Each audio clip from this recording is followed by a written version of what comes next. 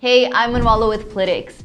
If you're working with a lot of product attributes and you're noticing that finding the information you want is time consuming and there must be a better way, then you're right, there is. Stay tuned because in this video, you'll learn how to organize all of your product attributes in attribute groups, which makes it easier to search through and manage all of the information tied to your products. If you've watched our video about creating and managing attributes, then you know that attributes are all of the pieces of information about each of your products. This includes everything from internal information like product owner and wholesale cost, basic information like product ID and title, details like size or color, all the way to digital assets like photos, videos, and PDFs. Not to mention all of the attributes that are product specific. If you're a hardware store, then you might sell battery powered tools that would have a battery type attribute and also sell paint cans which will need a drying time attribute. If you sell toys, you might have an age attribute and if you sell consumable goods, you'll have a best by this date attribute. The number of attributes you work with can quickly add up and between you and me, I've seen companies who work with over 2,000 attributes. Now, when you're dealing with hundreds, let alone thousands of attributes, Working with them can get a bit messy, which is where attribute groups come in. Attribute groups help you organize your product data into categories to make it easier to find, view, and edit the information that's relevant to you. You can create groups to put similar attributes together like basic information, media attributes, information required for specific sales channels, internal information for different teams, and the list goes on. These groups make it easier to find the exact information that you want to work with. So let's see how this works. So when I look at a product in Plytix, I can see all of the attributes for that product, right? But as you can see, they're listed in alphabetical order. So if I'm trying to look at a set of attributes, let's say I only want to enrich the attributes needed to create that product in Shopify, then I'll have to scroll up and down and jump around to find the ones that I need, and it's easy to forget one. In order to solve this, let's create a Shopify attribute group. First, head to the Settings tab in the top menu.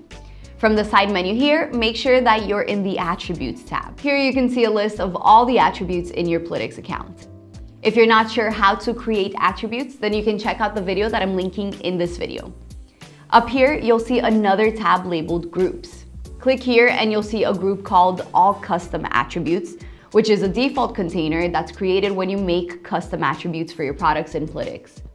Since we want to create a new custom group, let's click on Add Group at the top. As I mentioned, I want to be able to find my Shopify attributes faster. So let's give this attribute group a name that clearly corresponds to the attributes that it contains, in this case Shopify, and click Next. Now we'll choose the attributes that we want to include in the group. So for this, I'm just going to follow the template that Shopify provides. The attributes we select will appear on the right side of the screen here, and we can drag and drop to reorder them or click X to remove them from the group.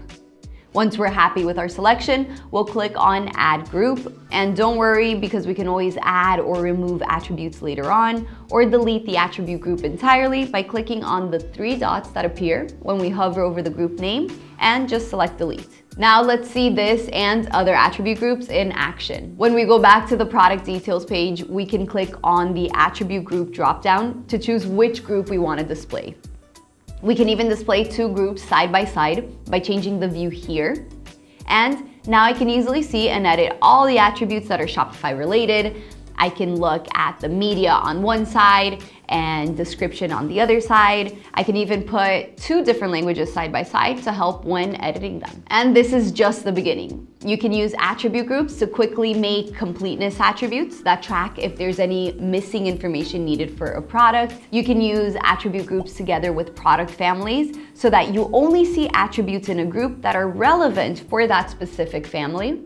And you can use attribute groups to quickly add groups of information to brand portals, product sheets, and channels. If you want to check that out, make sure you subscribe to our YouTube channel because we're always coming out with new videos on best practices for managing your product information, along with general e-commerce tips to grow your business. I hope this tutorial was helpful to you. If it was, don't forget to give it a thumbs up. And if there's any other topic that you'd like to see us make a video on, let us know in the comments.